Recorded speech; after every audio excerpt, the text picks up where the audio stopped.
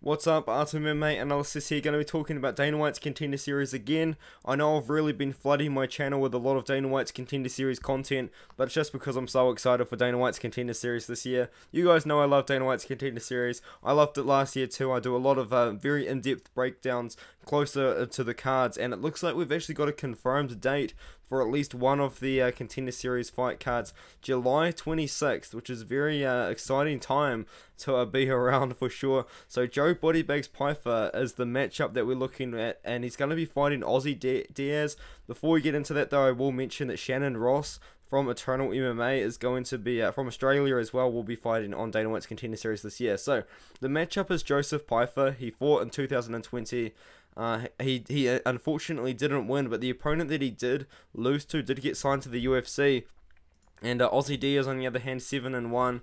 Uh, LFA uh, recently headlines a card against Assis and uh, knocked him out in the first round. So you know, Ozzy Diaz, man, he's on a round one tier right now. He's uh seven wins, six finishes in the first round, and he is on a one, two, three, four, five fight first round finish streak. This is a guy that the UFC probably does want in the uh, uh, in their roster for sure. Joseph Pyfer, on the other hand, pretty exciting fighter as well. All of his wins are coming inside the distance, except for one uh, earlier on in his career. He did lose to Dustin Stoltzfus, and I'm gonna be honest, guys. I mean, it wouldn't be that bad if this lost aged a little bit better and Dustin Stoltzfus won a couple of fights in the UFC. But unfortunately, I just don't have that um, news for you at all. We actually have um, the opposite. Dustin Stoltzfus does have a great ground game, obviously, and he did, uh, I guess, win with a slam or I guess like some sort of TKO submission there. And uh, unfortunately for uh, Dustin Stoltzfus, he has not had a successful UFC run. He is 0 and 3 uh, in the UFC, but he did beat very good levels of competition uh, outside, and he has a twister submission on his record too. But um, yeah, as for the as for the loss uh, for Pyfer, I don't think it's the greatest the greatest look anyway. And prior to that, he hasn't really been fighting the same level of competition as uh, Ozzy Diaz, in my opinion. I believe um, Austin Trotman was a short notice replacement, though, so I will give him uh, that benefit of the doubt. But even then, he was being to be fighting a 10 and 7 fighter anyway. So, um, yeah, the level of competition that Joseph Pyfer is fighting, I don't think is as great as Ozzy Diaz. I mean, he just beat uh, Bruno Assis, who's 12 and 5. Prior to that, he did beat 9 and 5 and 3 and 0 and 5 and 2 guy. Like, guys were not the best, but not the worst records at all. You know, considering he was 3 and 1 fighting a 5 and 2 guy, 4 and 1 fighting a 3 and 0 guy. Like he's beating good levels of competition for like the record that he's got. He's um not actually on uh, a five first round finish streak. Sorry, that's a win in the second round, but he's on a five fight finish streak anyway.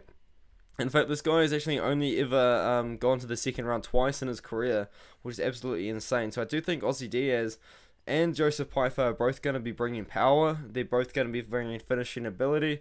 Joseph Pyfer, five wins by KO, two by submission. Ozzy Diaz, on the other hand, also has five wins by KO and two by submission. I think someone's getting knocked out on this one, and uh, you've really got to make the pick. Who do you think is going to get slept?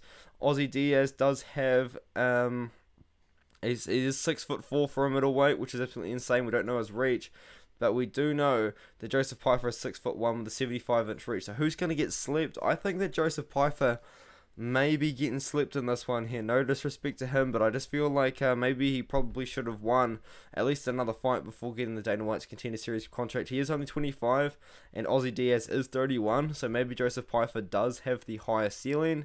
Uh, out of the two, but I do feel like if uh, Joseph Pyfer doesn't win this one, it's going to be a long road to the UFC for sure.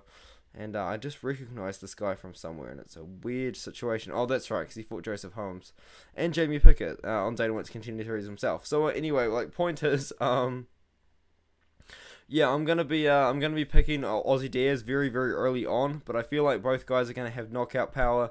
Both guys are gonna be looking to finish the fight. I think it's a great Dana White's Contender Series matchup, and I really do like that this is happening. They're giving Joseph Pyfer another opportunity. Uh, maybe they uh, I don't really know. Maybe they see something in him that I don't. But he did get finished in the first round to Dustin Stoltzfus, who really hasn't had the greatest UFC run, unfortunately for him. Ozzy Diaz, I feel like you know what, he's probably more in his prime. He's a little bit older. He's also uh, got power and he's also um, headlined a card before as well. He's been in a five round fight. I mean, it only um, lasted one round, but he's, he's still been in a five round fight. We can say that much. So uh, I'm going to be going with Ozzy Diaz uh, to get the knockout here.